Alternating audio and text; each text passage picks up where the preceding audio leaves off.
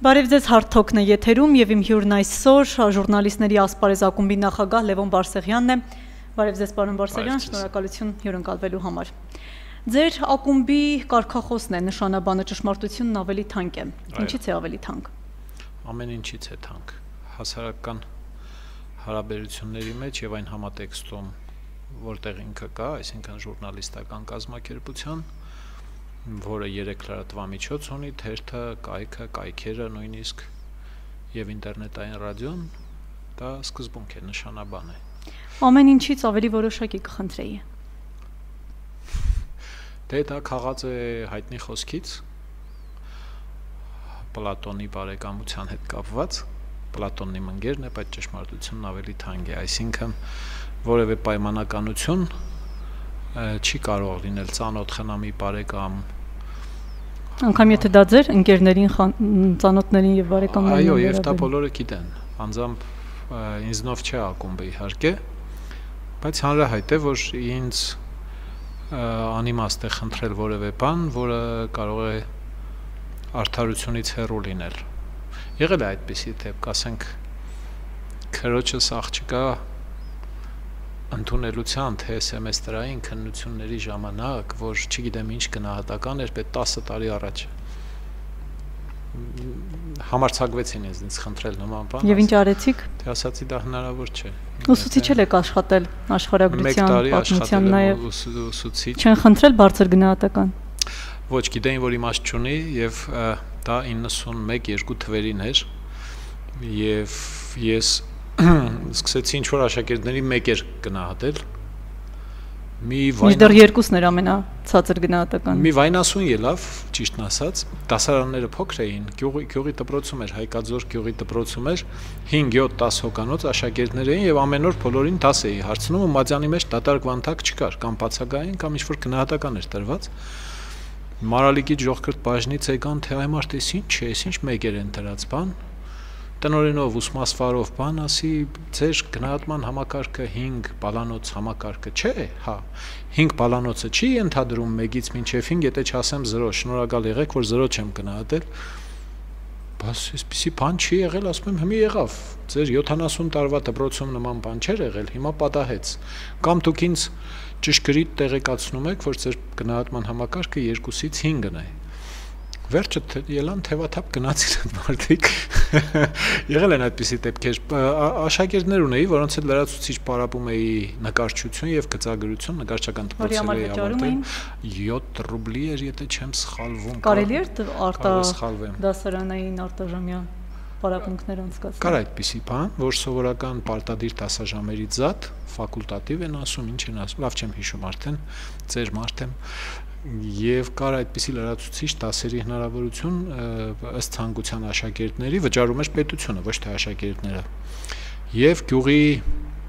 ավերակ դպրոցում էինք մնում ես կինս եւ 1 տարեկան տղաս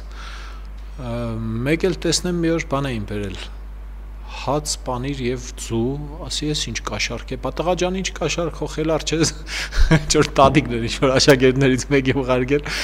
Ձեր ընկալումը փաստորեն միշտ է այդ հարցում լինում։ Ես շատ ավելի հասարակ է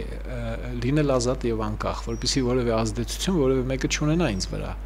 Անդրադառնանք դարձյալ կարգախոսին ճշմարտությունն ամեն ինչից ավելի թանկ է։ Եթե իշխանությունները որևէ լավ բան անեն, կխոսեք այդ մասին։ Լավ, վատ դրանք հարաբերական բաներ են եւ եթե ես հարմար եմ գտնում, խոսում եմ այդ մասին։ Եղել է նման դեպք։ Այո, այո, բազմաթիվ անգամներ։ Քաղաքային իշխանությունների արդյունավետ քայլերի մասին ես կխուսափեմ լավ կամ վատ ածականներ օգտագործել արդյունավետ արդար որոշումների մասին բարբերաբար ես գրել եմ եւ գրում եմ։ Մի քանի օրինակի մասին պատմեք։ Դե հիմա ես տարեկան ասենք 400 հոդված եմ գրում ես, որ մեկը Որը մեկը չեք հիշում հիշել։ Որ արձանագրել եք, որ դա դրական էր այդ քայլը։ Օրինակելի, արդյունավետ, ինչպես դուք Օրինակի համար նախորդ քաղաքապետարանը ամսական ծախսում էր հերախոսային զրույցների համար 1 միլիոն 300 հազար դրամ։ Որ քաղաքապետարանը։ Նախորդ քաղաք Գյումրու նախորդ քաղաքապետարանը։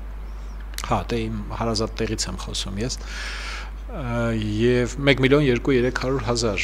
որը մենք հետազոտեցինք ու ողջեցինք, որ Դրանից մոտավորապես 270 հազար դրամ ամսական ծախսվում էր միջազգային զանգերի վրա եւ այդ զանգերը կապ չունեին քաղաքապետարանի աշխատանքի հետ, այսինքն դրանք մասնավոր զանգեր էին։ Դա կողոպուտ է ուղղակի, գողությունը քաղաքային բյուջեից, ինչը տեղեր ունեցել ամիսներ շարունակ։ Այս ամբողջի մասին լուրջ հետաքննություն արեցինք, հրապարակեցինք եւ այլն։ Նոր քաղաքապետը արկելափակեց բոլոր զանգերը, տեսնելով այդ պատկերը եւ նվազեցրեց հեռախոսների թիվը, իսկ ավելի ուշ մենք ողջեցինք, որ քաղաքապետարանի հեռախոսային ծախսերը նվազել հասել են 500.000-ի։ Գրեցիք դրա մասին։ Այդ մասին գրվել է 500.000 դրամի եւ ոչ ավելին։ Հիմա նորից պիտի հետազոտվի։ Իսկ ինչպես գրեցիք, որ քաղաքային իշխանությունները բացահայտեցին իրականությունը, թե որ ձեր մենք ենք իրականությունը բացահայտել։ Թե որ ձեր շնորհիվ Չէ, չէ, այդպիսի այդպիսի բաներ չենք գրում մենք։ Ես չեմ գրում այդպիսի բաներ։ Բանն այն մասին է, որ բանն այն է, որ քաղաքային նոր իշխանությունները տեղյակել չէին, թե ինչ խոսակցությունների վրա են ծախսվել այդ գումարները։ Պարզապես հերախոսային ընկերությունից հաշիվը եկել է, իրենք վճարել են մշտապես, առանց ունենալու կոդագրությունները, թե ուր է զանգվել։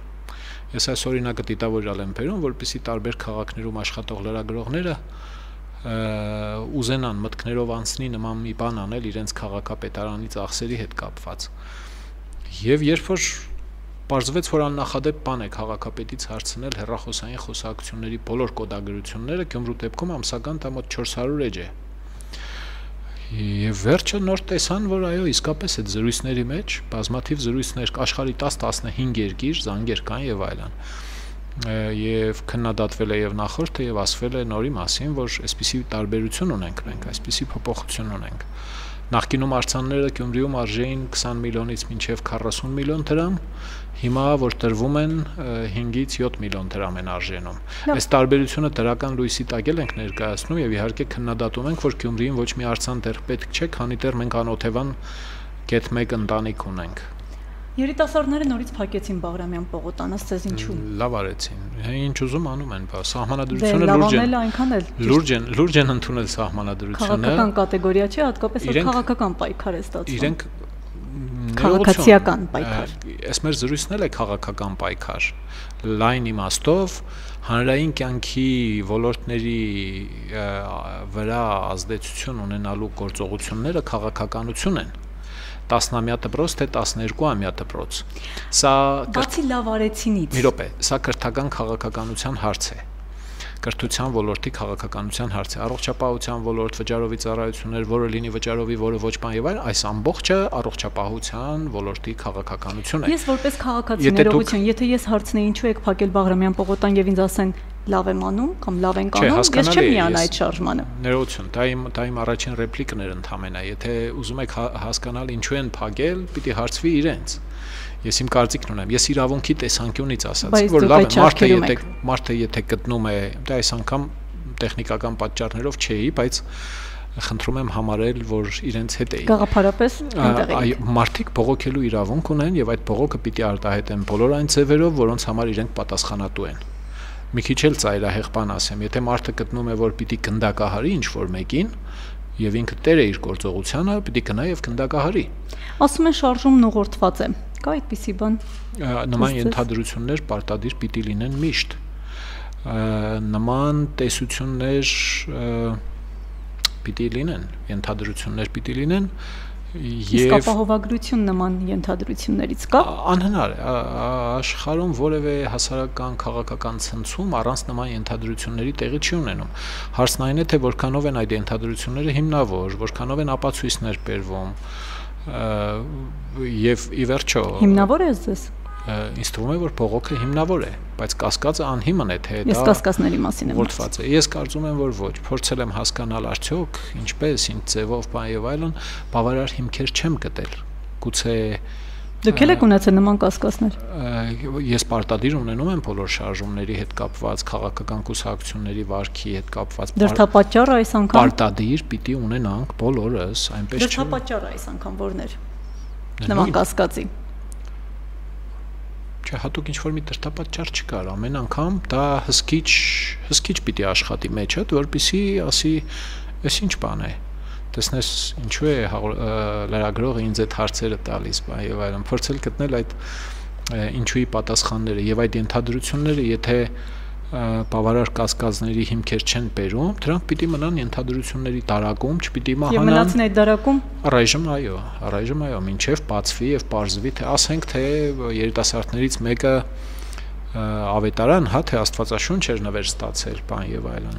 Երիտասարդ է։ Երևի չի կռահել, որ Վովա Կասպարյանի պեսի ձեռքից որևէ նվեր չի կարելի ստանալ, որովհետեւ դա կարող է ազդել իր վարքի եւ գործողությունների վրա եւ այլն։ Չեք կարծում, որ այս շարժումը որոշակիորեն նաև հակառուսական տրամադրություններ արտնացրեց երկրում եւ արդյոք մեզ մեր նման երկրին այս պահին պետք էր որևէ հակատրամադրություն, հատկապես գործընկեր պետության նկատմամբ։ Գործընկեր շատ համարվում է ռազմավարական գործընկեր գոնե փաստաթղթերով այդպես նայածով է համարում փաստաթղթերով շատ բան կարող է այլ լինել իրականության մեջ ես չտեսա այդ գործընկերությունը նույնիսկ ավելացնեմ, ցավոք չտեսա։ Ես շատ կուզեի, որ որակյալ գործընկերություն այս պահին։ Գիտեք, շատ դժվար է ակնկալել, երբ որ ես այս բաժակը շպրտեմ պատի վրա, ինքը չի ծխվելու։ Կարող ենք աղոթել, որ չծխվի, то չգիտեմ, ենթադրել, որ ոչինչ էլ չեղավ, չկոտրվեց բան եւ այլն, բայց շատ կոնկրետ գործողությունները, կոնկրետ հույզեր եւ տրամադրություններ են արտնացնում, ոչ թե հակառուսական տրամադրություններ արտնացրեց, այլ վեր արտնացրեց բազմաթիվ դեպքերի շարան ունենք վերջին 2-3 տարիներում, շատ իդ չգնամ, երբ որ հակա կրեմլական, չասեմ հակառուսական, դա շատ կարևոր տարբերություն կա դրանց մեջ հակակրեմլական տրամադրություններ են աճել զարգացել 2.5 տարի առաջ երկու երեխաների մահը այն զինվորական հրաձգարանում որը սпасարկում էր ռուսներին ռուսական զորքերին ռուսաստանի զորքին եւ այդպես էլ որևէ մեկը չպատժվեց ինչ եթե թափթփված էին եղել ռուսական զորամասի զինծառայողները թողել էին չպայթած զինամթերք, երեխաները խաղացել էին, թե քանդել էին, պայթել էին։ Որևէ մեկը չմեղադրվեց, չդատվեց։ Զենքի վաճառքը Հայաստանի ակնհայտ ճշնամուն երբ որ քո ռազմավարական դաշնակիցը վաճառ սրանք այնքան հանրահայտ բաներ են չեմ ուզում նորից անդրադառնալ սրանց գազի թիվ եք մեզ պարտք։ Հասկանալի է, որ սա ուղիղ արդյունք է Հայաստանի անողնաշար իշխանությունների վարքի, բայց այնուամենայնիվ մարդկանց մի մասը մեղադրում է Հայաստանի իշխանություններին, մյուսները ռուսական իշխանություններին, երրորդները երկուսին էլ մեղադրում։ Այսինքն խնդիր չէ այդ հակատրամադրությունը, տրամադրվածությունը։ Չէ, արթնանալու հետ կապված ես ուղղակի ասացի, որ վեր արթնացավ այսինքն ցանկացած առիթով կարող է ելի նման մի բան արտնանալ եւ դա փոխում է հասարակության տրամադրությունը դեռ որակյալ հետազոտություններ չկան, բայց ես վստահ եմ, որ եթե 10 տարի առաջվա տրամադրությունները համեմատվեին այսօրվա տրամադրությունների հետ, Ռուսաստանին որպես տաշնակից ընկալումը լրջորեն տուժած կլիներ լրջորեն տուժել է։ Սա իմ սուբյեկտիվ մասնավոր կարծիքն է։ Դուք Գյումրիից եք եւ հակապերմյակովյան արշավի ոչ միայն ականատեսը, այլ նաեւ կազմակերպիչներից։ Բավարարված եք այն որոշմամբ, որ գործը հանձնվեց հայկական հայաստանյան արդարադատությանը։ Ես տպավորություն ունեմ, որ դուք հարցերը դիտավորյալ եք այդպես ձևակերպում, որովհետև Գյումրիում Հարց թոքն է եթերում։ Գյումրիում հակապերմյակովյան տրամադրություններ երբեք չեն եղել։ Ես էլ դրանց մեջ չեմ եղել եւ կազմակերպիչը չեմ։ Գյումրիում եղել են արդարադատություններ այդ դեպքում այդպես։ Արդարադատության պահանջի տրամադրություններ արդարադատության պահանջը ուղղված է եղել Հայաստանի իշխանությունների դեմ եւ ոչ թե Պերմյակովի դեմ մանավանդ որ մինչեւ հիմա դեռ ոչ ոք չգիտե հանցագործը Պերմյակովն է թե ոչ ինչպես էլ ուզում է պաշտոնական լրատվությունը կամ ռուսական կողմը փորձել այդպես ներկայացնել գուցե արդար քննություն կլինի եւ մի օր կպարզվի որ իսկապես դա անձամբ Պերմյակովն էր եւ միայն Պերմյակովն էր խնդրում եմ այս բաները չսարքենք շիլա։ Փորձակնությունը ցույց է տվել, դատաբժշկական փորձակնությունը, որ ինքը միայնակ է գործել եւ իր միայնակ է գործել եւ իր ներողություն միայնակ գործելու մասին ես որևէ դատաբժշկական կամ ուրիշ փորձակնության արդյունքների մասին տեղյակ չեմ։ Տեղյակ եմ, որ իր զենքն է եղել հանցագործության վայրում եւ որ ինքը տասալիք է իսկ այն բազմաթիվ տրամաբանական հակասությունները, որ կան իր խոսքում։ Ընդամենը մեկն ասեմ, երբ որ իրեն փող էր պետք եղել, ինքը տաքսիստներով, բաներով հասել է այդ արանքը եւ որևէ տաքսիստի չի թալանել, որի մոտ ակնհայտորեն փող կլիներ եւ գնացել մտել է մի առեղծվածային տեղ, որպեսզի այնտեղից փող գտնի։ Մի խոսքով, բազմաթիվ անհետետ բաներ։ եւ մարդիկ դուրս եկան արդարության պահանջով փողոց միայն այն բանից հետո, երբ այսպես կոչված իշխանությունը իտեմս դատախազի սկսեց պաշտպանել օտար զորքի դասալիքին օտար երկրի սահմանադրությանը հղումներ անելով բոլորս էլ վեճերի մեջ ունենում ենք կրվաններ, թույլ կրվաններ, ուժեղ կրվաններ եւ այլն բայց ջանում ենք հակասությունները կանոնների, այս դեպքում օրենսդրության Հայաստանի Ռուսաստանի օրենսդրությունների հակասությունները օգտագործել եւ մեկնաբանել մեր օգտին։ Սա այնքան բնական բան է։ Չի կարող, չէ, Հայաստանի եւ Ռուսաստանի օրենսդրությունը լինել նույնական։ Հակասություններ, բա ինչու է ստացվել այնպես, որ երկրի դատախազը արդարադատության հիմնական պաշտպանը կամ պաշտպաններից մեկը սկսում պաշտպանել օտար երկրի ակնհայտ դասալիքին օտար երկրի օրենսդրությամբ։ Ուրեմն ինքը անցել է օտար երկրի կողմը։ Դավաճանել է Ամեն դեպքում որոշումը կայացվեց, Հայաստանյան արդարադատությանը հանձնվեց, ըստ ձեզ դա քաղաքացիական ճնշման հետևանք էր։ Ոչ, ինձ թվում է, որ գործերը կարգավորեցին այնպես, որ ամբողջ լինելիք դատաքննությունը, դատավճռով, ամեն ինչով լինի Ռուսաստանի Դաշնության սրտով եւ դե լավ, թող մի քիչ էլ քիչ դժգոհ են մեզնից, տեսեն տեսնեն, որ մենք բարեկամ ենք այնուամենայնիվ վերցրեք ձեզի բր բայց ազատ քն արդար քննություն ես չեմ կարծում որ տեղի է ունենալու ես կասկածում եմ որ նույնիսկ ինքը դատարանում որևէ խոսք կասի ասելու են հիվանդ է, զահլա չունի, գլուխը ցավում է, դրեք իր նախաքննական ցուցմունքները օգտագործեք, ընդունեք որպես հիմք եւ վերջացավ։ Ինչքան հարց ուզում եք տվեք։ Մեր փաստաբանները, ավելի ճիշտ դժողի իրավահաջորդների ներկայացուցիչ փաստաբաններն էլ ուղղակի ինչքան էլ միջներից ճղվեն կներեք չեն հասնելու արդարադատության Պերմյակովին չեն էլ հանձնելու հայկական կողմին գործից մի քանի հատոր է հանձնած ընդամենը հայաստանյան կողմին այնինչ այսինքն դուք ինչ կասկածներ ունեք? Ես գործի մասին թե քաղաքական կոնյունկտուրայի մասին քաղաքական գործի եւ քաղաքական կոնյունկտուրայի գործի մասին որևէ խելամիտ բան չեմ կարող ասել որովհետեւ տեղեկությունները չափազանց քիչ են որակյալ տատողություններ անելու համար բացի փողոցային խոսակցությունները դրանք հիմա ես չկրկնեմ իսկ քաղաքական տեսանկյունից Կրեմլը դիրք ունի մեր տղին ծեր չտակ Վերջ թե այնտեղ տագը ինչեր կան։ Ինձ թվում է, որ Բերմակովը այդ զորամասերում տիրող այլանդագության գագաթին է, փրփուրից է եւ տագը լիքը բաներ կան զորամասերում ներքին կարգու կանոնը, իրավիճակը, թալանը, կողոպուտը, չգիտեմ, որոշ զինծառայողների նկատմամբ բռնաճնշումները, բան եւ այլն, որոնցից կարող է ինչ-որ բան ցագած լինել եւ բարբերաբար լինում է։ Սպանության ականատես եղանք իրենց հարբած վարորդներն են Գյումրու փողոցներում վրա վրաերթներ եւ վթարներ անում Շատ է խոսում ռուսական ռազմակայանը Հայաստանից հանելու անհրաժեշտության կամ ցանկության մասին։ Դուք որ ճամբարում եք։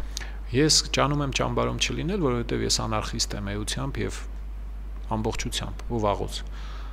ճանում եմ, որ չլինեմ կազմակերպչական քաղաքական կառուցվածքների մեջ իմ մասնավոր դիրքորոշումը զուտ անհատի եւ քաղաքի քաղաքացու դիրքորոշում է ես համարում եմ որ կարելի է կարգավորել ռուսական զորամասերի ներկայությունը Հայաստանում այնպես, որ դրանից վնասներ չլինեն Ես գիտեմ, իմ շատ ընկերներ եւ բարեկամներ համարում են, որ ոչ, դրանք մեզ այլևս որևէ օգուտ տալ չեն կարող։ Դրանք պիտի անհապաղ հեռացվեն Հայաստանի տարածքից, այստեղ չեմ կիսում իրենց կարծիքը։ Ես կարծում եմ, որ նրանց թիվը հետսետե աճում է այդպես մտածող մարդկանց եւ թշնամություն չունեմ այդ գաղափարը։ Ես էլ բարբերաբար որ զայրանում եմ, բան կարող եմ 1-2 Facebook-յան post-ից մեջ լինի գրած, որ հանեք ռադարեք, էլի այ մարդ, եթե ես է ձեր ինձ թվում է որ շանս կա այնուամենայնիվ, բայց դա կարող է լինել որակով միայն այն դեպքում, երբ որ Հայաստանի իշխանությունները կլինեն ժողովրդից ընտրված, այդով պատասխանատու եւ որակյալ։ Այդ դեպքում է որ մեր իշխանությունը կկարողանա իսկապես նստել բանակցությունների աշխատանքային սեղանի շուրջ եւ մարդավարի փորձի լուծել այդ խնդիրները, անվտանգության խնդիրները եւ ներքին անվտանգության եւ արտաքին սահմանների պաշտպանության խնդիրները չեմ ուզում երբեք մտածել, չեմ էլ մտածել, որ Ռուսաստանը Հայաստանի անվերապահ եւ անձնուրաց բարեկամն է։ Այդպիսի բան քաղաքականության մեջ ընդհանրապես գոյություն չունի։ Ինքը ունի իր շահերը, այո, վերջական բարեկամների։ Վերջացավ, հա, եթե նույնիսկ Հայաստանում ոչ ոք էլ չլինի, մարդ էլ չլինի, ինչին տանում է Սերժիկ Սարգսյանի իշխանությունը, Ռուսաստանը շարունակելու է ասել, որ ինքը պաշտպանում է այս տարածքը եւ այլն եւ այլն եւ այլն։ Սա է իմ դիրքորոշումը, եթե կարողացա ներկայացնել։ Եվ 20 տարի անցել է արդեն ռուսական ռազմակայանի տեղադրման, որը միջպետական պայմանագրով է սահմանվել ներկայությունը Բիշկեկյան հրադադարից անմիջապես հետո։ Պաստորեն 20 տարի անցել կարծում եք, որ դեռևս պետք է այդ ռազմակայանը այստեղ։ Ես կարծում եմ, որ պետք է եւ առանց անվտանգության մանրամասների ճշտման մենք մնում ենք ռիսկի տակ։ Ծառայել եք բանակում։ Այո, Սովետական։ Սովետական։ Բայկալ ամուրյան մագիստրալում երկաթ գիծ եմ սարքել, փոս եմ փորել, բետոն եմ արել։ Իսկ հայկական զինված ուժերի հետ ինչպիսի առնչություն եք ունեցել։ Եթե չհաշվենք պատերազմական տարիներին ռազմաճակատի տարբեր հատվածներում իմ որպես լրագրող եւ օպերատոր աշխատանքը եւ հաղորդումներ եմ պատրաստել մի ամբողջ շարք, եթե չհաշվեմ, որ անցած տարիներին խորությամբ փորձել եմ մեր կազմակերպության հետ հետազոտել խաղաղ պայմաններում մահվան դեպքերը Հայաստանում 5 մարզ ենք հետազոտել Շիրակ, Արագածոտն, Արմավիր, Գեղարքոնիկ եւ Կոտայքի մարզերը։ Հուշմատյանը որ սա։ Հուշամատյանի շարքերի մասին է խոսքը։ Մայիսի 12-ից հետո 94 թվականի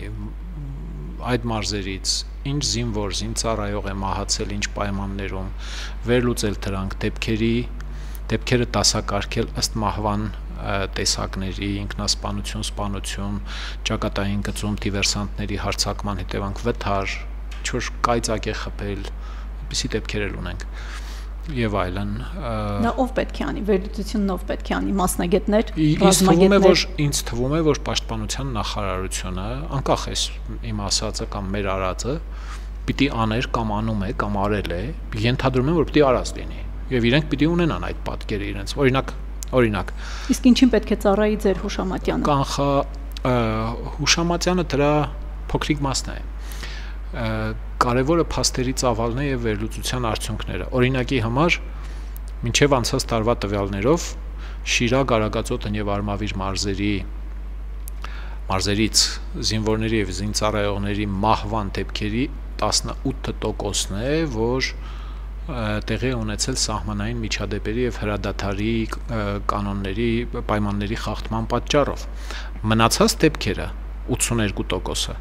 եղել են բանակում ներքին հարաբերությունների կարգուկանոնի խախտման, ինքնասպանության հասցնելու, ճանապարհատրանսպորտային պատահարների, անհեթեթ մի շարք պատճառներով։ Հիմա որ այդ ամբողջը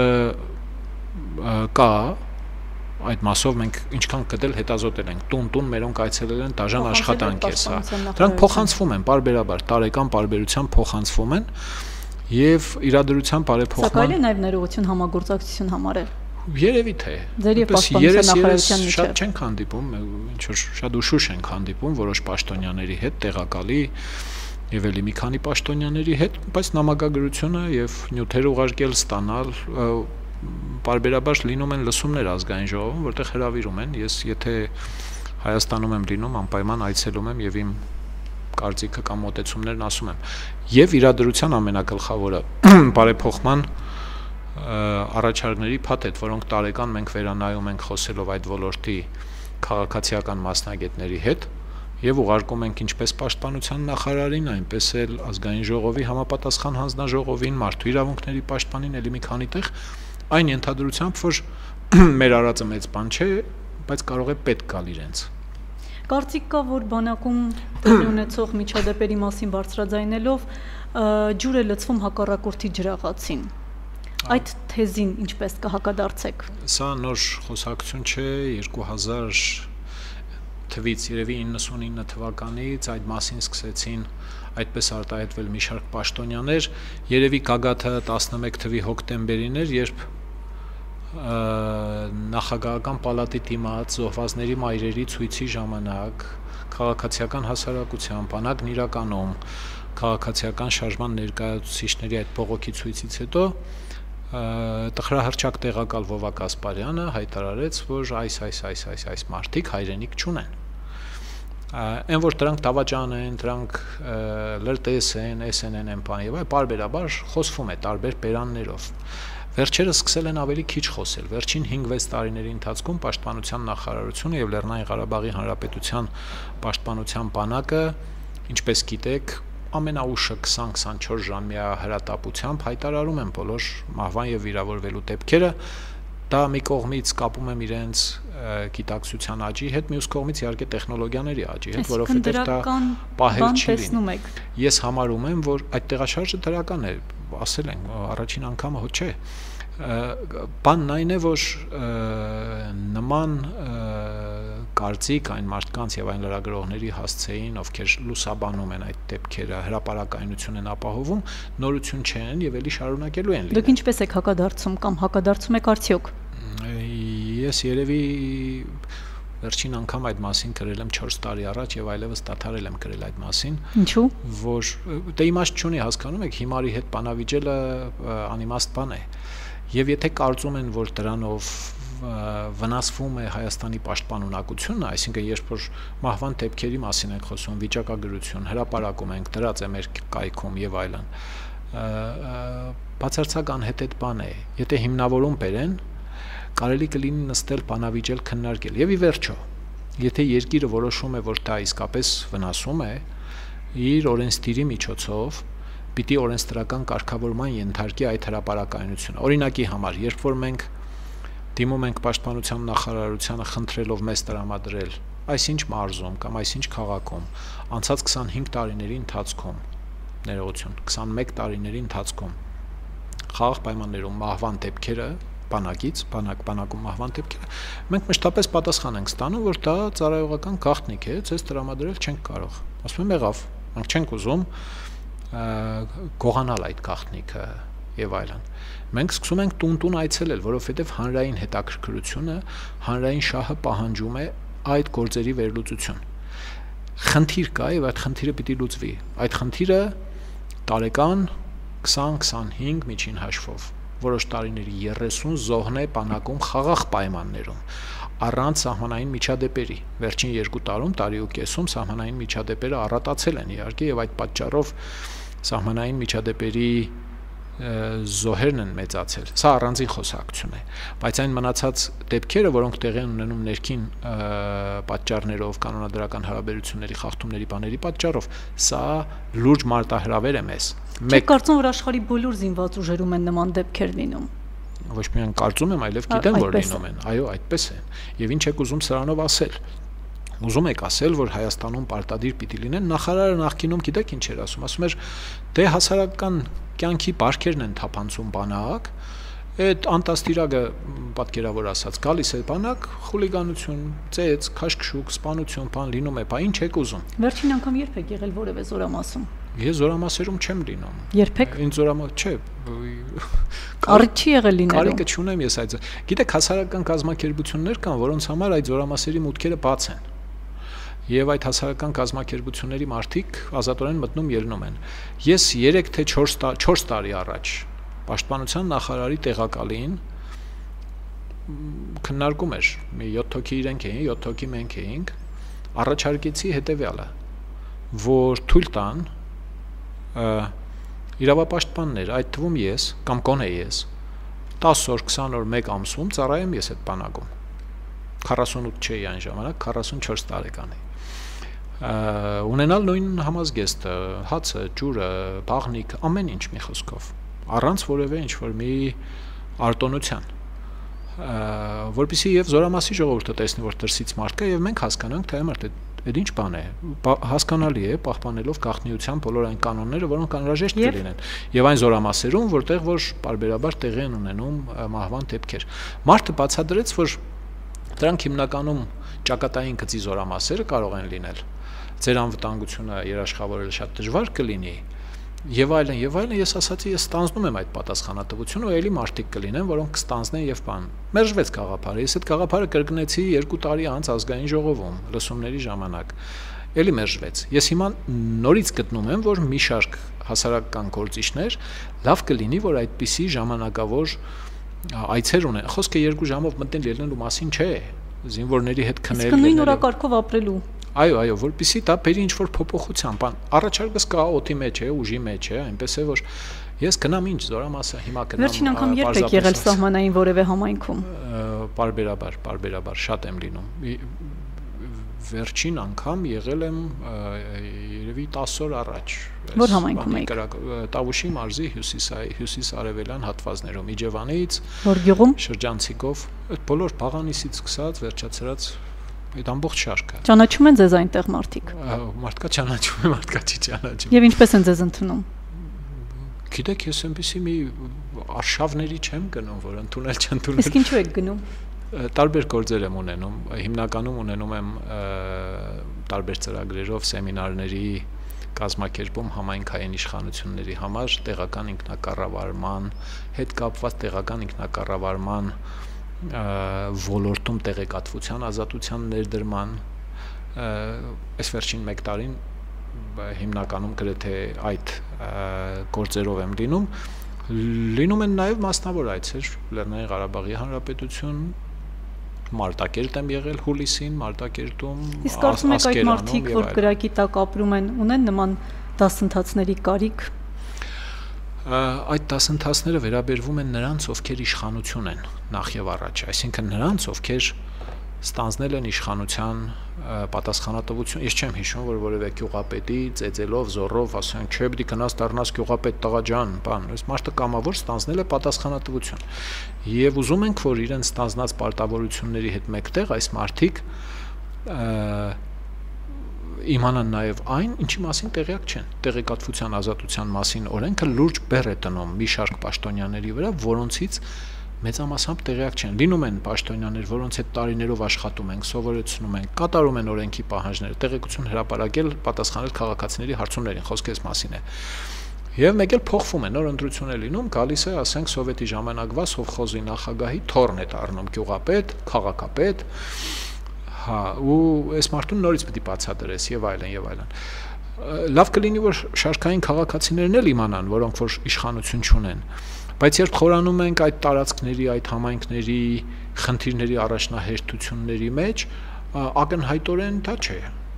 առաջնահերթ։ Միանգամայն հասկանալի է հարկավոր է որ պետական իշխանությունը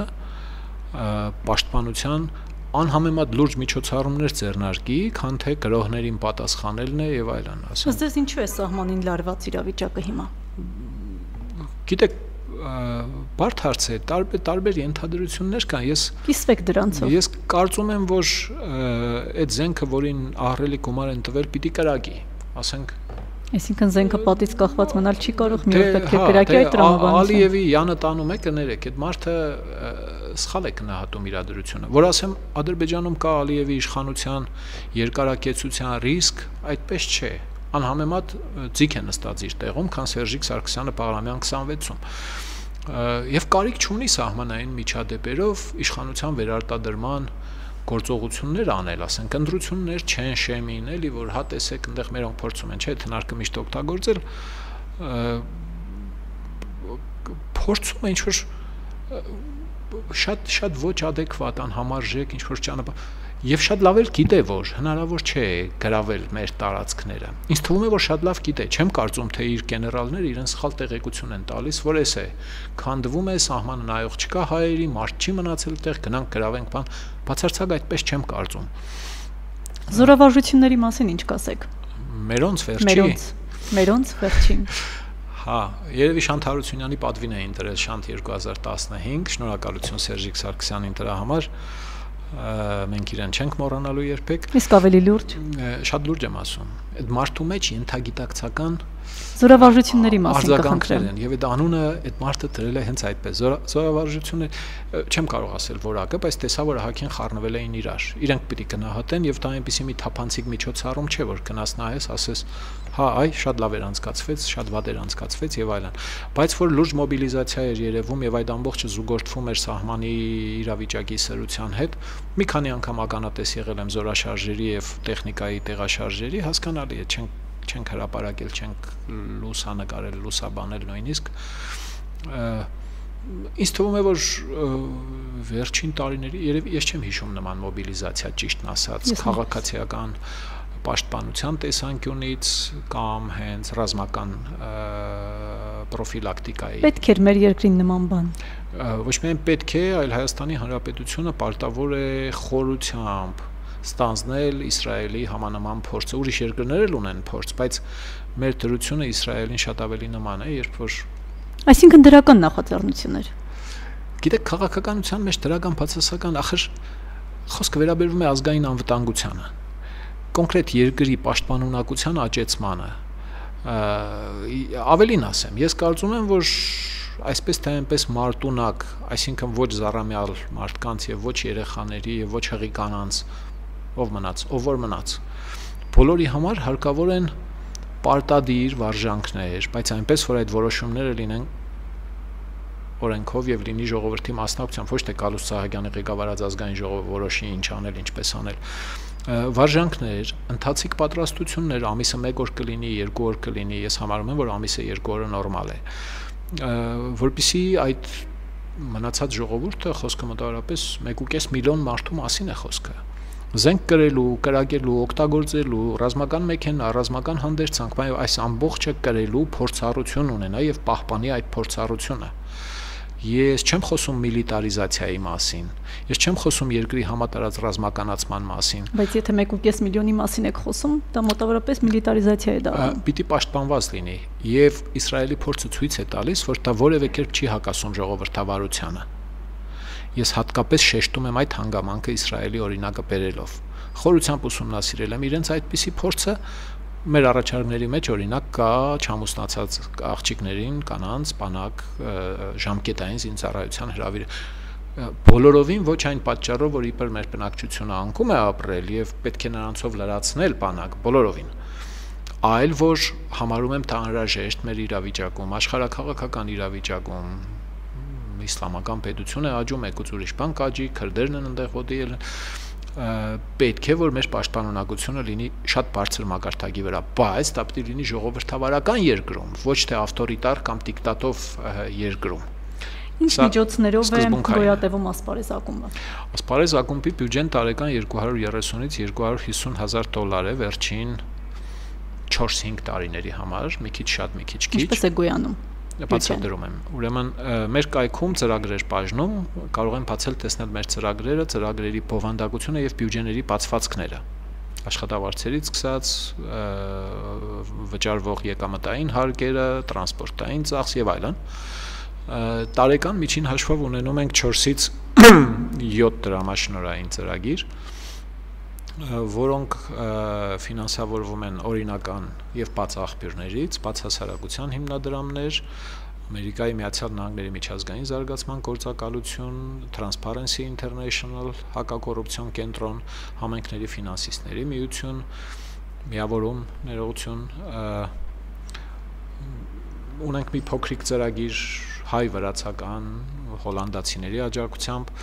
Այսինքն ծրագրերի պակաս չունեք ունենք ծրագրերի պակաս։ Ես կուզեի, որ մեր բյուջեն լիներ ոչ թե 250 հազար, այլ 250 միլիոն դոլար։ Ինչ կանեիք այդ դեպքում։ Լիքը բաներ կանեի, շատ մեծ բաներ կանեի։ Օրինակ։ Հիմա օրինակ ճանապարհային ոստիկանության վրա կսարքեի քաղաքացիական ճանապարհային ոստիկանություն այնպես կանեի, որ ճանապարհային ոստիկանությունը լավ իմաստով ու արև չունենար լիներ միայն իր պարտականությունների կատարման մեջ եւ ոչինչ ավելի։ Վարորդներին կզգուշացնեինք լրջորեն, թե որտեղ են թաքնված արագաչափերը եւ տեսանկարահանող սարքերը, որpիսի որևէ մեկը ծուղակի մեջ չընկներ ճանապարհային կարգու կանոն խոսքը իմ գաղափարների մասին է ոչ թե ժուրնալիստների ասպարեզ ժուրնալիստների ասպարեզ ագումբը կուզենար վաղուց ունենք այդ գաղափարը ստեղծել պատանի լրագրողի դպրոց, իսկապես այնպիսի դպրոց, որտեղ 5-6-րդ դասարանից սկսած 4 տարով կամ 5 տարով երեխաներ պատանիները սովորեին, հետո լրագրող կաշխատեին, չէին աշխատի, սա ուրիշ բան է, բայց ես իմ փորձից գիտեմ, թե 4 տարի նկարչական դպրոց սովորելուց հետո ինչ նստվածք է տվել իմ մեջ, չեմ աշխատել երբեք որպես նկարիչ, չեմ էլ աշխատելու եւ այդ գիտելիքները, որոնք այդ դպրոցում կստանան, աշխարհագետից դարձել եք լրագրող, քաղաքացիական նախաձեռնությունների հեղինակ։ Նկարիչ աշխատելը մի բան է, նկարելը այլ բան։ Նկարում եմ ես, ոչ ոք չգիտե որ նկարում եմ, հա հա իմացան էլի, բայց չեմ աշխատում որպես այդպեսին։ Եվ էլի շատ ուրիշ գաղափարներ ունեմ, որոնք որ փող ճարենք կանենք։ Շատ կազմակերպությունների են հասարակական կազմակերպությունների մեղադրում թողներեն ինձ իմ կողմից նույնպես գրեհիկ համարվող բառի համար, բայց գրանտակեր են համարում։ Ձեզ համարել են երբևէ եւ դարձյալ հակադարձում եք թե ոչ։ Եթե հարկազղտիկները ինձ գրանտակեր չանվանեին, ես շատ կվիրավորվեի։ Հասկանում եք, սովորաբար մեր վճարած հարկերից ուտող եւ ուրացող մի շարք արարածներ ճանում են իրենց կերածը արդարացնել եւ շեֆի մոտ པարզ երես լինել այդ բարի օգտագործմամբ ընդամենը ուրիշ բաներ եմ փորձում անել վարկաբեկել, զրպարտել, վիրավորել, բան բնական է չեմ ուզում համեմատվել այն հրեայի հետ, բայց հիշենք Քրիստոսին էլ ինչ ասես ասում էին բնական է Այսինքն առանց կրակեցուխը չի եղել նման նախադեպ ոչ ձեր պարագայում Չէ, ասել են բազմաթիվ անգամներ վիրավորել են, այդ վիրավորական իմաստ են դրել դրա մեջ գրանտակեր, չտեսնելով որ ամենախոշոր Իսկ Հայաստանում կա գրանտակերություն որպես գոյական Ես նա բերեք հասկանանք ինչ է դրա տակ։ Եթե ես այդ դրամաշնորից ահակին մարդու հոնորար եւ աշխատավարձ են վճարում ժուրնալիստների ասպարեզ ակումբի նկատի ունեմ Եվ այդ մարդիկ ստանում են դա իրենց հալալ քրտինքն է աշխատած բան, չգիտեմ, դա գրանտ ուտել է։ Եթե այդ իմաստն է տրվում, հա, ես էլ եմ իհարկե գրանտակեր եմ։ Եթե ի նկատի ունեն, որ կողոպտվում է այդ գումարը, կողացվում է եւ չի օգտագործվում այն նպատակով, որի համար հատկացվել է, սա կողոպուտ է, թալան է։ Ես չգիտեմ, որ իմաստով են օգտագործում։ Իմ բերած օրինակի դեպքում, երբ ասացի վիրավորել են, երկրորդ իմաստն են դրել դրա տակ։ Բայց մյուս կողմից ես շատ լավ գիտեմ, որ անգամ իմ մահճակալի տակ ազգային անվտանգության ծառայությունն ու ոստիկանությունը մարդ ունի պահած, այսինքն գախտնալսում են ամբողջությամբ, բանկային հաշիվները ամբողջությամբ հսկում են, տեղաշարժը, ֆիզիկական տեղաշարժը եւ այլն եւ այլն, այսինքն եթե իրենք ունենային get make chance բոլոր նրանց ովքեր կողոպտում են ինչ-ինչ գումարներ այդ մարդկանց պատասխանատվության ենթարկելու եւ հարմար գտնեին այդ անել, կանեին Գուցե ինչ-որ բաներ էլ ունեն իմ թեմ, բայց հարմար չեն գտնում առայժմ դրանք օգտագործել, գուցե սպասում են ավելի հարմար առիթի, բան եւ Տարիներ շարունակ բարձրաձայնում եք սոցիալական, քաղաքական այն հիվանդությունների մասին, որ երկրում կա։ Իշխանությունները երբևէ արձագանքել են։ Ուղիղ արձագանք եղել է։ Բարբերաբար եղել է։ Շիրագի մարսպետը, գործող մարսպետը մի քանի անգամ ուշադիր է եղել իմ հրաապարակումներին օրինակ Facebook-յան բոլոր գրառումներս կոնցլագերից ամեն օր տպում դնում են իր սեղանին, որպեսզի կարդա մարդը եւ նա չի ཐակցնում, որ հետաքրքրված է հասարակական գործիչների հրաապարակային վարկով։ Եվ դա նորմալ է։ Իհարկե դա չպետք է խլի իր բուն աշխատաժամանակը։ Ահա եւ այդ սոցիալական խնդիրների, եթե ավելի կոնկրետ Գյումրու սոցիալական իրավիճակի, խայտարակ վիճակի, անօթևանների, գործազրկության արտագաղթի, ավերակ քաղաքի հետ կապված, բարբերաբար ուրشادիր է եւ եղել են դեպքեր, որ ուզեցել է թվերի հետ կապված որոշ բաներ ճշտել։ Արդյոք ճիշտ է, որ 4000 անօթևան ընտանիք կա Գյումրիում եւ ոչ թե դե հազար քանի 100 ինչպես ասում է Այսինքն միայն պետական իշխանությունը Այսինքն միայն Շիրակի մարզից է եղել նման օրինակ արձագանք Գիտեք օրինակ մի անգամ ես մարզպետից մարզպետներից հարցրել էի թե ինչպես ինչ ուղություններով են ծախսել պետական բյուջեից հատկացված 20-ական միլիոն դրամները որոնք իրենք կոչվում է այլ նպաստներ բյուջեից եւ քաղաքացիներին պիտի օգնեն խնդրել էի մանրամասն տեղեկություն տրամադրել ինձ ով երբ ինչքան գումար է ստացել այդ ճանապարհով։ Մարսպետների ճնշող մեծամասնությունը մերժեց այդ տեղեկությունը տրամադրել, Շիրակի մարսպետին դատի տվեցինք, դատարանում հաշտություն կնքեց, հետո տրամադրեց։ Մյուսներին, ճիշտն ասած, ոչ ժամանակ, ոչ էլ միջոց կար։ 10 մարս, 9 մարս գնալ գալ դատ, դատաստան եւ կար մյուս ճանապարհը փողոքարկել վերադասին։ Փողոք գրեցինք վարչապետի անունով եւ շատ անսպասելիորեն ընդամենը 1 օր հետո զանգեց այն ժամանակ տարածքային կառավարման նախարարի տեղակալ Վաչե Տերտերյանը եւ շատ զարմա անձամբ ծանոթել չէինք Լևոն ջան, դուք բան եք հարցրել մարսպետներից չեն տրամադրել, ասի չէ, ասի ձեր գոր հետո կտրամադրեն։ Ասում եմ ախր դա մի ահրելի ծավալ է, էլի, 5-6-7 տարվա ասեց կանեն ասի կոնե այդ մարդկանց երկու շաբաթ ժամանակ տվեք իսկապես մարդավարի անեն մի շաբաթ չեր անցել սկավառակի վրա ամբողջությամբ բոլոր այդ տեղեկությունները, որոնք ես հարցրել էի մարզպետներից, տրամադրեցին։ Շնորհակալություն ասացիք։ Այո, այո, այդ մասին ես շատ եմ պատմել եւ շատ եմ պատմում, սեմինարների ժամանակ եմ պատմում։ Եվ դա այդ տեղեկությունները հիմա տեղադրված են մեր public data.am կայքի մեջ, ցանկացած մարդ կարող է մտնել, բացել իր ուզած մարզը եւ տարին, տեսնել թե այդ մարզպետը այդ տարում ում ինչքան դրամական օժանդակություն է տվել մեր փողերից, պետական բյուջեի միջոցներից հետո որոշ մարզպետներ խրատ առան սրանից եւ սկսեցին կանոնավոր պատասխանել այդ հարցումները բայց մարզպետները ինչպես քիչ առաջ համայնքապետերի վրա օրինակ բերեցի փոխվում են մեկը գնում է տեղը գալիս է ավելի բարեխիղճը այդ բարեխիղճը գնում է տեղը գալիս է մարդասպան հանցագործը դե հիմա արի այդ մարդուն խելք խրատ դուր Ասպարեզի հոդվածներից մեկը վերնագրված է իշխանության ամեն մի ներկայացուցիչ պետք է մտածի, որ իր աշխատասենյակն ականի տակ է։ Դուք այդ ականը երբևէ ձեր ոդքի մահճակալի տակ զգացել եք։ Վերնագիր այդքան երկար էր։ Այո։ Դուրս հանեմ այդ լրագրողին։ Բանը ական ինչ ական։ Չէ, ինձ ինձ թվում է, որ իմը պատասխանատվություն է ընդամենը եւ ասեմ այն ինձ մի շարք անգամներ ասել եմ հատկապես պաշտոնյաներին, որ անձամբ ես իմ հասկացած արժեքների համար պատրաստ եմ տնել ամեն ինչ կյանքից սկսած ազատությունով վերջացրած բարձ ասած իրենց ուրիշ բարերով եմ ասել եմ որ նստող է պետք ես նստող եմ այսինքն չմտածեք թե ինչ որ ահաբեկել, ավտոներս ջարդել, ավտոներս վառել, զանգ տալ վախե վախենալու ինչ որ քյուֆուրներ տալ, ինձ լավ հայոյող չլինեք պատրաստ ենք այսինքն այդ ականները իմ մոտ ականազերծված են եթե եղել է երևի վերջին անգամ խնդրել են ինձ ինչ 10 երկու տարի առաջ Շիրագի վարչության պետը ոստիկանության համարցակվեց խնդրել, որ մեր մոտ ընդդիմության ասուլիսը մերժվի պաշտոնյաներից դες իրեն բացադրեցի ինքը հասկացավ որ ինքը այցիկ է ընդամենը նման բան ինձնից խնդրելու համար պահանջելու մասին խոսք էլ չկար իսկ ավելի ուշ հասարակական խնդրանք ու պահանջ է եղել արկելել Գեորգի Վանյանին ասպարեզ ակումբում ցուցադրել հայկաներություն վրացական եւ ադրբեջանական ֆիլմեր 3 թե 4 տարի առաջ 3 կարծես ես էլ բացատրել եմ, որ սա Հայաստանի միակ տարածքն է, որտեղ ցանկացած մարդ կարող է գալ խոսել ինչ կամենա, պայմանով որ ինքն է պատասխանատու իր արածի համար։ Մի փորձեք իմ միջոցով ուրիշների բերանը փակել։ Եթե դուք համարում եք, որ սրա միջինը թույն է, հանրությանը բացատրեք, որ ժողովուրդ սրա միջինը թույն է, մի խմեք, մի գնացեք նայեք այդ կինոները եւ այլն եւ այլն։ Այդ եղանակն է։ Իսկ այդ առումով կիսում եք կարտիկը։ Որ, ինչ։ Որ այդ ֆիլմում թույն է փոխաբերական իմաստով։ Ճիշտ ասած, ես այդ ֆիլմերը չեմ նայել։ Մինչև հիմա չեմ նայել։ Ես համարել եմ, որ կազմակերպիչը բանական եւ մեղսունակ մարդ է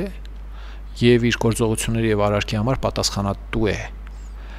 ես նախաձեռնություն չեմ ունեցել նման ֆիլմը։ Եթե ունենայի, ես կանեի, ես դրամաշնորհ կստանայի, ես կցուցադրեի եւ այլն։ Մի խոսքով ասպարեզ ակումբի հիմնադրման գաղափարը ծագել է ազատ խոսքի տարածք ունենալու մտքից։ Կրկնում եմ, այն ժամանակ ինտերնետ այդպես զարգացած չէր, բան եւ այլն։ Ստեղծել ենք մի սրահ, որտեղ ցանկացած մարդ եկել իր ասելիք ասել է, ասուլիս է տվել, բանավիճել է, քննարկել է պաշտոնյաներ, նախկին պաշտոնյաներ, ընդդիմություն եւ այլն։ Սա է եղել հիմնականից, որ մարդիկ պիտի արտահայտվելու բացարձակ ազատություն ունենան, իրենք պիտի պատասխանատու լինեն իրենց արտահայտածի համար։ Սա է։ Իսկ չեմ էլ հիշում, երևի Մոսկվայով մի գեղարվեստական կինո եմ նայել, Բաքվի 70-ականների իրավիճակի մասին նոր ֆիլմեր ինչ որ։ Հա, եւ վերջ մարդկանց վրա ինչպես կազդի գիտեք, եթե պետությունը ռիսկ է տեսնում այդտեղ պետական իշխանությունը նման դեպքերում, պարտավոր է քննարկել իհարկե հանրության հետ եւ եթե անհաղթահարելի ռիսկ է, պիտի օրենքով արգելի։ Ես չեմ կարծում, որ դա անհաղթահարելի ռիսկ է։ Անկեղծորեն չեմ մտածում այդպես։ Աստորեն կա ռիսկ, պարզապես անհաղթահարելի չէ։ Չէ, ես մտահոգություններն եմ փոխանցում որ մարդիկ մտածում են, որ վայ վայ վայ վայ վայ, տեսնես ինչ կլինի, եթե հանկարծ Հայաստանում ցուցադրվի ես ցանոթագրությունն եմ պատմում հիմա ֆիլմերից մեկի, չեմ նայել Բաքվի կենտրոնի հին թաղամասերի ավերման եւ դրանց տեղում էլիտար շենքեր կառուցելու մասին 30 րոպեանոց ֆիլմ, եթե տեսնեն Հայաստանում, դա հայ հասարակության համար ռիսկ է։ Ես չեմ կարծում այդպես, բայց բազմաթիվ մարդիկ այդպես են կարծում։ Հիմա, այսինքն հասարակության մեջ կան տարբեր կարծիքներ նման բաների մասին ինչպես վարվել, որպեսզի նման ցնցումներ չլինեն, ինչպեսին եղան այդ ֆիլմերի ցուցադրման ժամանակ, մերը հələ ոչինչ։ Վանաձորում Հելսինկյան քաղաքացիական ասամբլեայի Վանաձորի գրասենյակը գրոհեցին մարզպետարանի եւ քաղաքապետարանի կազմակերպած խմբերը նույնիսկ այն բանից հետո երբ Արթուրը Սակունց հայտարարեց որ Գեորգի Վանյանը ցուցադրությունը հանել է եւ Վանաձորում չէ եւ ցուցադրություն չի լինելու Դրանից հետո մարդիկ մտածեցին, ասին եկել ենք մի բան անենք, սկսեցին քարերով ջարդել այդ գրասենյակի ապակիները եւ վնասեցին աղջիկներից մեկի ոդկա այնտեղ աշխատող։ Այսինքն սա պետության կողմից կազմակերպված հարցակում էր, ես ուրիշ բացատրություն չունեմ։ Գյումրիում նման բան չեղավ։ Վանյանին խփեցին երկու անգամ։ Սա եղավ։ Եվ վերադառնալով այն մտքին, որ եթե պետությունը ռիսկ է տեսնում, հա, պետություն ասելիս նկատի ունեմ հանրության կողմից արդարորեն ընտրված իշխանությունը Եթե արդարորեն չի ընտրված, քննարկել թե ինքը ռիսկ է տեսնում, չի տեսնում, սա ավելորդ խոսակցություն է եւ ավելորդ ջանքեր են։ Օրենքով պիտի կարգավորի։ Պարզ օրենքով գրում է, որ արգելվում է այսինչ ֆիլմի ցուցադրությունը, այստեղ վերջացավ եւ որևէ մեկը ով փորձում է դա անել, անում է անօրինական արարք։ Դուք ձեզ լրագրող եք համարում թե քաղաքական ակտիվիստ։ Ես ինձ անարխիստ եմ համարում, իսկ իմ արտահայտչամիջոցները բազմաթիվ են։ Ծաղրանկարներ ունեմ նկարած թե ինչպես Չիբուրաշկեկը ուտում են Հայաստանի Հանրապետությունը եւ այլն եւ այլն դրանք հրապարակվել են Facebook-ում։ Ինչ նկատի ունեք անարխիստ ասելով։ Համարում եմ որ ես հերարխիստ չեմ, այսինքն ես չեմ համարում որ պիտի լինի ամենածայրահեղ կարիքով հանրային կյանքը կարգավորող իշխանությունից կամ մարմնից զատ որևէ մի բան։ Ես համարում եմ, որ մարդիկ պիտի լինեն հավասար եւ ազատ ես համարում եմ, որ որը անարխիզմ է ենթադրում? Իմ հասկաց ինչքան անարխիստ այնքան մանիֆեստ հասկա ես մի մեկ երկու հոդված ունեմ այդ մասին գրած ոչ ավելին շատ դժվար էր ինձ համար նահանջել այդ դիրքից եւ առաջադրվել Գյումրու ավականու անդամ, որը փաստորեն իշխանություն ստանալու օրինական ճանապարհ էր եւ ես որոշակիորեն իշխանություն ստացա, բայց երբեք ճանաչել եմ չչարաշահել այդ դիրքը։ Այնուամենայնիվ կա տարբերություն Լևոն Բարսեղյան լրագրողի եւ Լևոն Բարսեղյան քաղաքական ակտիվիստի միջև ես չէի ուզի զատել դրանք եւ չէի ուզի որ մենք կենտրոնանանք որովհետեւ անարխիզմի մեջ եմ Հայաստանի Հանրապետության շարքային քաղաքացիներից մեկի վրա ես կարծում եմ որ ես պարզապես քաղաքացի եմ ով ունի արտահայտվելու մի շարք եղանակներ եւ մի շարք չբացահայտված եղանակներ ժամանակը կարիքը կլինի կսկսեմ այդ եղանակներից էլ օգտվել Եվ վերջ, ոչինչ այդպիսի մի առանձնահատուկ, ոչինչ այդպիսի մի կարևոր բան չկա իմ։ Գուցե թե ես, ասենք, ի տարբերություն ուրիշների քնում եմ 4 ժամ կամ 5 ժամ եւ մնացած ժամանակս հասարակական կյանք է, անձնական կյանքի համար, չգիտեմ, այսքան թե շատ քիչ բան է մնացել տարիներ շարունակ։ Ես ցերեկով տուն գնացած չկամ վերջին 25 տարիներ դպրոցից հետո չի հիշում ես ամեն դեպքում լրագրողական գործունեություն ծավալում եք. լրագրողը պետք է լինի անաչառ եւ ոչ կողմնակալ ոչ լրագրողը պիտի լինի կողմնակալ եւ աչառու դուք խոսում եք փաստի լրագրությունից ես խոսում եմ վերլուծական լրագրությունից ես խոսում եմ քաղաքացիական լրագրությունից երբ որ հանրային իրազեկման այս ամբողջ մեծ դաշտում իշխանություն զավթած ռեժիմը իր մանկլավիկ լրատվամիջոցներով առավոտնից իրիկուն բացատրում է, որ գիտեք, մածունը այնուամենայնիվ սև է, ես չեմ կարող նստել վերլուծականներում հավասար ժամանակ տրամադրել եւ իշխանությանը եւ իշխանությանը հակաճառողներին։ Իսկ դուք բոլոր ոլորտներից Ես ճանում եմ, ես ճանում եմ ավելի շատ հակաճառությանը տեղ տալ։ Եթե հակառակը լիներ, Իշխանությունը առավոտից իրիկուն իր լրատվամիջոցներով խոսեր, որ գիտեք, մածունը սպիտակ է եւ չի կարող լինել ուրիշ մածուն, ես անպայման այնպիսի նյութեր կգրեի, որոնցում կբացատրեի, որ գիտեք, այս այս հանգամանքներում մածունը կատնագույնել է լինում, որոշ դեպքում տեղինել է լինում, հերիք զառանցեք, պարոնայք։ Այսինքն ես իմ կարեցածի չափով փորձում եմ հավասարակշռել հանրային լրատվության դաշտում եղած չեղածը դա իհարկե փոքր կարողություն է։ Ինձ այն 2005-ի հանրակրվեի ժամանակ գալիս ասում էին սահմանադրության բովանդակության հետ կապված նախագծի Կարդացել եք իդեպ։ Այս նորը, այդ էր պակա, Սերժիկը կարդացել է հերիք է, ես կարդալու բան չունեմ։ Բայց կարծիք հայտնում եք։ Բովանդակության մասին ոչ։ Ես անհրաժեշտության անհրաժեշտության մասին կարծիք հայտնում եմ։ Առանց կարդալու այդ դեպքում։ Ներողություն, անհրաժեշտությունը այլ բան է, բովանդակությունը այլ։ Գիտեք ինչի է նման։ Ոնց որ մեկը իմ տատիկին բռնի տանի հիվանդանոց, թե կույրաղիկը պետք է հանվի այդ տատիկը ոչ բողոք ունի քույր աղիքից, ոչ մի անգամ ռենտգեն չի նկարվել, ոչ մի անգամ, չգիտեմ, որևէ ախտանիշ չի երևացել։ Մոշքուրս եկել է, ասում է, տատիկին է վիրահատվի։ Այ մարդ ասում է, դու խելար չես։ Ես է նստեմ տատիկին ռենտգեն հանեմ, բոլորովին։ Նույնը այստեղ է։ Չկա հանրային պահանջմունք Սերժ Սարգսյանի սահմանադրության փոփոխության եւ ի վերջո 5 թվականի սահմանադրության գրողները դե պատվիրատունով էր հիշում ենք գրողներն ասում էին որ սա ինքը կատարելությունն է սրանից են կողմ չի կարող լինել լավ սահմանադրություն խնդիրները լուծվում են եւ այլն երթվում էին բացեք հին տեսագրությունները նայեք դա ընդունելուց հետո 2.5 տարի անց Ռոբերտ Քոչարյանը զորքեր բերեց սահմանից քաղաքացիների վրա եւ ստացվեց այնպես որ գնդակահարեցին 10 հոգու առնվազն հիմա Սահմանադրության մեջ գրված է զորքերը ներքին քաղաքական կյանքում չպիտի օգտագործվեն։ Մարդը ազատ արտահայտվելու իրավունք ունի։ Ազատության հրապարակում փետրվարի 29-ի գիշերը մարդիկ խաղաղ ցույցի էին։ Առավոտը չի ես ծեզել տալիս այդ մարդկանց մարտի 1-ի առավոտ։ Հիմա տեսնում եք, որ սահմանադրության բովանդակությունը չէ,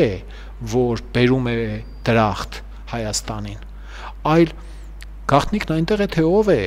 իշխանություն մի իդեալական սահմանը համարեք, որ ամենահրաշալի սահմանադրությունն է ընդունվել արդեն։ Այս 1-ից 70 անգամ լավ է այս նախագծից։ Կարծում եք, որ եթե Սերժիկ Սարգսյանի խելքին փչի,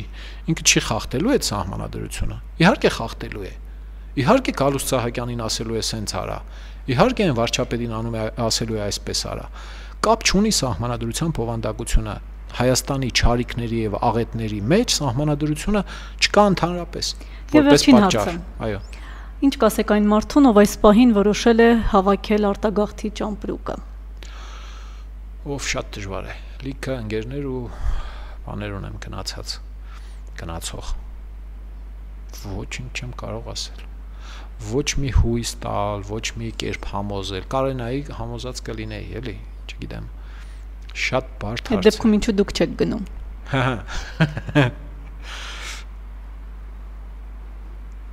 Հա։ Գիտեք, ես կապած եմ Գյումրու Գորկու 67 շենքի անկյունում։ Եվ ինչքան էլ հերո եմ գնում,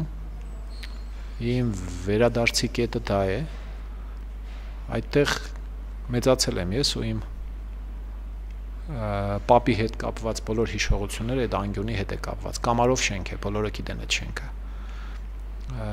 Անհնար բան է։ Եթե ես գնամ, ես ուրիշ մարդ կլինեմ, էլի, պիտի ուրիշ մարդ լինեմ։ Երևի մյուս կյանքում կգնամ կամ կաշխատեմ ուրիշ տեղ ծնվել։ Շնորհակալություն։ Խնդրեմ։ Այսքանն էր հարթոքը իմ հյուրն այսօր Տևոն Բարսեղյանն էր ժուրնալիստների ասպարեզակումբի խորհրդի նախագահը։ Շնորհակալություն։